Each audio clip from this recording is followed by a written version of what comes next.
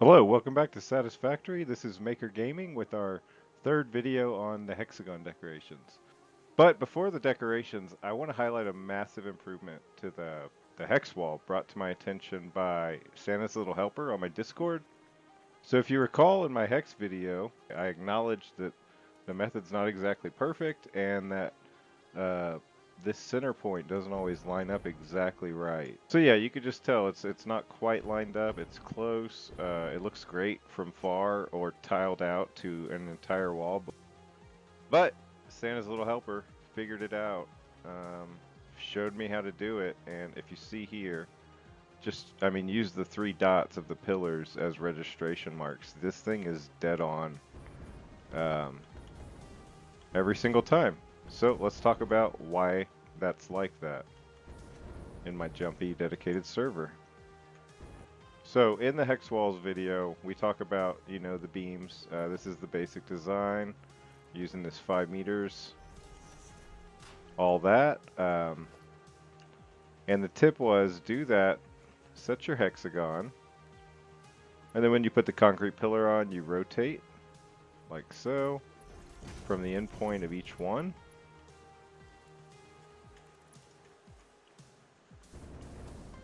And yeah, not bad, but... So yeah, the secret is that pillars rotate in 10 degree increments. So that's 1, 2, 3, 4, 5, 6, 7, 8, 9 to get the 90 degrees to the next section. Whereas a beam, you pull that out and it rotates in 15 degrees. So to get around 90 degrees, you go 1, 2, 3, 4, 5, 6. Now that's huge because with 15 degree increments, that gives you the uh, ability to get to the 45 degree angle. And that's your exact um, halfway mark for your 90. So yeah, the big fix, it's just you rotate the beam uh, before as the framework and then you don't have to rotate the pillar when you put it on. So instead of starting with this and covering it with concrete, you're starting with this and covering it with concrete.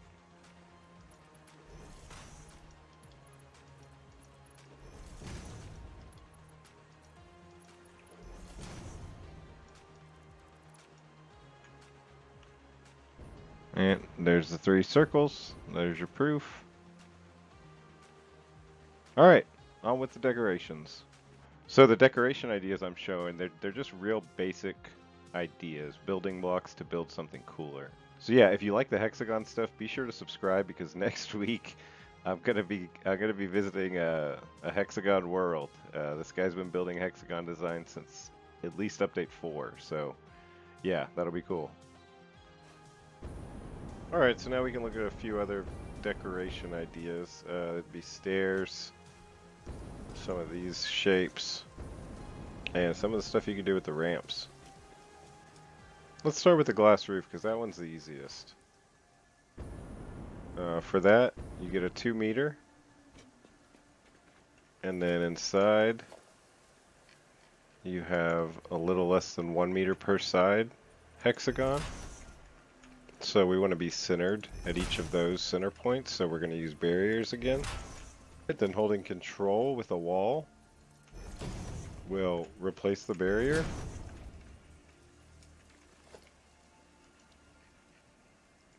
Actually, let's use glass.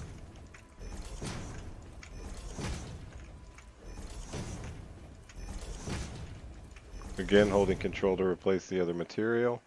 And if you've worked with ramps before, you know they're a little bit finicky in the directions you can place them in relation to other things. So these just help as a guide for them. Then we're going to get the bottom pattern. So yeah, it's pretty, looks kind of like a diamond from above, from the sides. And then to get that shape, you're just repeating.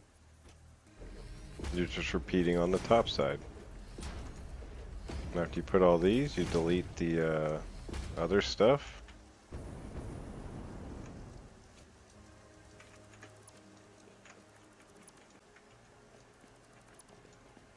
Alright, and that's what you're left with.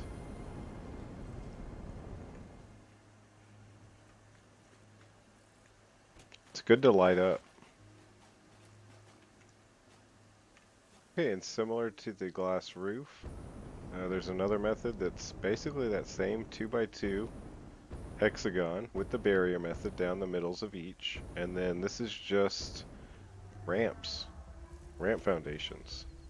So this is another one. It's just, it's that same idea. It's just incline, it's just ramps and ramp walls. And you get a lot of geometric, um, precise geometry.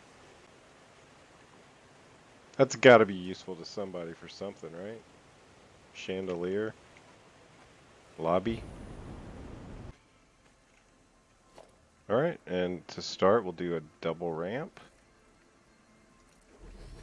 at the bottom of each barrier.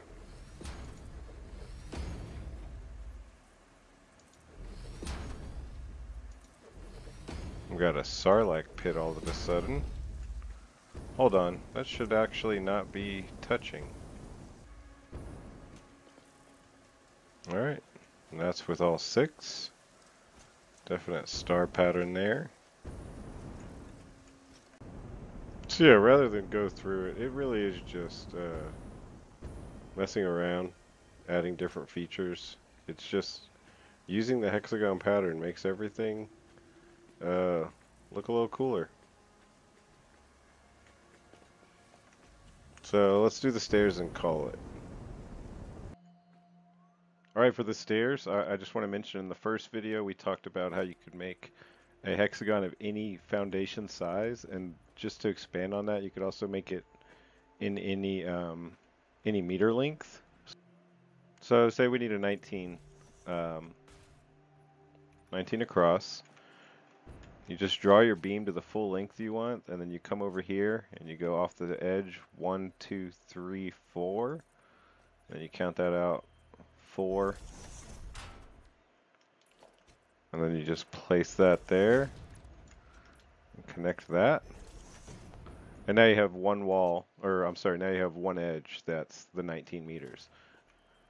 And then you just repeat the method um, from the first video all the way around, and then at each uh, each edge you just have to keep repeating uh, the beam trick to get the 19, and repeat six times, and you're done.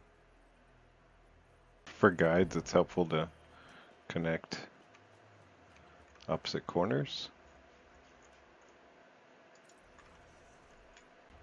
And just having a guide like that helps in the next step to make sure you're make sure you're dialed in to the right angle. Yeah, here's a quick how to do it, and then a mistake I came across. This is by no means perfected yet, but it's a start. Alright, so how do we do each layer? Start with the frame floor. That's how we're getting our one meter. Uh, we're going one up, one over. And same thing over here, but that's blocking it. So we go there, one up, one over. Put that one back. Then we lay these two on top. Delete these two. Put these going down and delete the guide block.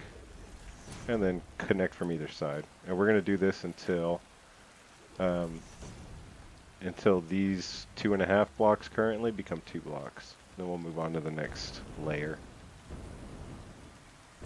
And you just continue the pattern from here, and because we're doing it exactly here, and every time we're going one meter in, one meter up, that's why at least the front three are perfect. Welcome back. I've been working on this. I don't know what episode I'm going to put it in. Uh, but I did realize on the start, I messed up one corner. So if you kind of look at it from the bottom, you see how they're all straight? That means that's a good corner. You come over here, those look good. That one did not come out right. So from that one meter block being incorrect here, that is now propagated um, into something funky over there, which throws the whole thing off from above. From the side, I'm still okay with it, and from the front, I believe it's still perfect. So I'm going to finish it. Alright, I think that's it. I'm hoping someone shows up to my Discord again to workshop the stairs, um, like it happened for the walls. yeah, thanks for watching.